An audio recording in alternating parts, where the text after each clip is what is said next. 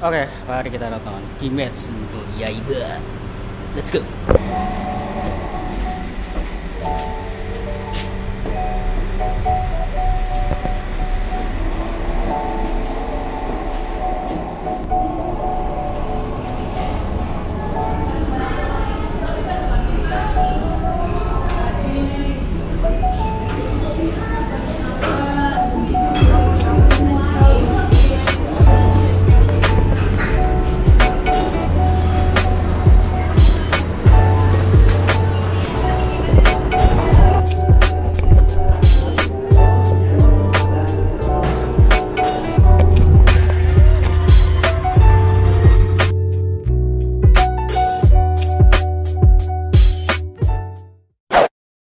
Oke, halo semuanya. Assalamualaikum warahmatullahi wabarakatuh. Masih bersama di sini dari Juru Review.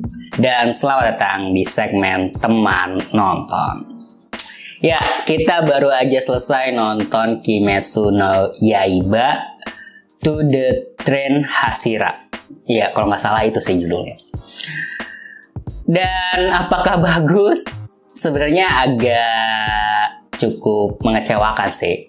Sebenarnya sih bukan mengecewakan yang bagaimana bagaimana gitu, tapi karena memang saya aja sih yang ekspektasinya terlalu berlebihan gitu.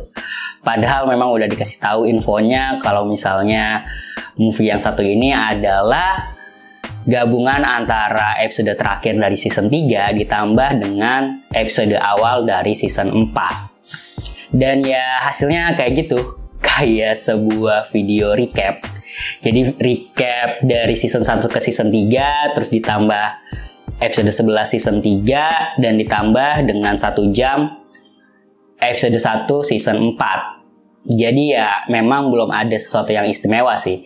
Dan kalau misalnya dinilai ya mungkin 7 per 10 lah ya. Karena memang ini tuh ceritanya belum nyampe puncak-puncaknya.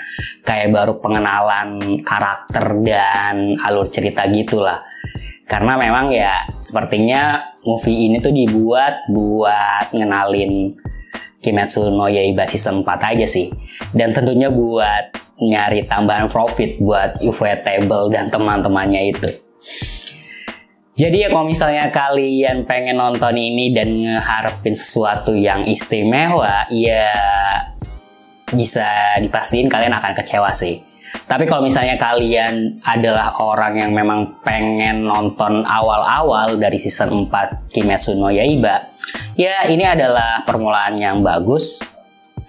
Kalian akan dapat info-info karakter baru, terus dapat sedikit recap dari season-season sebelumnya. Jadi bagi kalian yang mungkin belum pernah nonton Kimetsu no Yaiba, ya ini jadi permulaan yang baik. Terus kalau misalnya kalian memang udah pernah nonton season-season sebelumnya, ya kalian cuma akan lebih dulu aja sih nonton Kimetsu no Yaiba season 4 daripada nanti mungkin di Netflix atau platform streaming lainnya.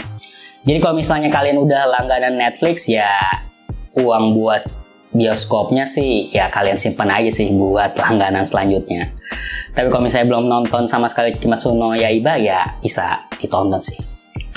Ya itu ya doang kayaknya sedikit update dari movie Kimetsu no Yaiba.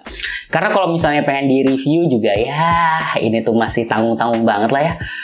Baru episode 1 dari season 4 sama sebelum-sebelumnya ada recapnya. Jadi ya agak tanggung kalau buat di review. Nanti mungkin akan kita review kalau misalnya Kimetsu no Yaiba itu akan tamat. Jadi final artnya itu nanti akan saya review sih. Akan juru review review gitu ya buat sekarang sih Kimetsu no Yaiba ya oke okay lah season 1 season 2 season 3 nya agak kurang tapi buat season 4 kayaknya bakalan seru Oke, mungkin gitu aja buat episode kali ini dan maksimal semua yang udah nonton. Saya Ono pamit. Wassalamualaikum warahmatullahi wabarakatuh. Salam Jurorvi. Oh iya, dan sedikit info tambahan, nggak ada credit scene buat film yang satu ini. Oke, okay.